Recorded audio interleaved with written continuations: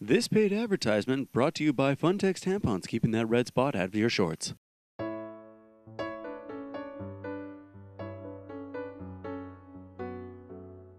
I was walking to a downtown theater with a group of my girlfriends to watch 16 Candles when suddenly I felt a quick bout of drowsiness and I fainted. Beware of toxic shock syndrome. I woke up one morning and just started throwing up my tapioca pudding. My vagina had a rash. It resembled a sunburn. It was inside me for three weeks.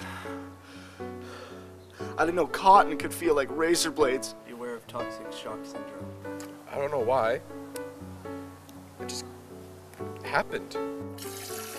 And when I awoke, I knew that I was a victim of TSS. Warning signs of TSS Diarrhea, sudden fever, vomiting, aches and pains, fainting, dizziness, rash that looks like a sunburn.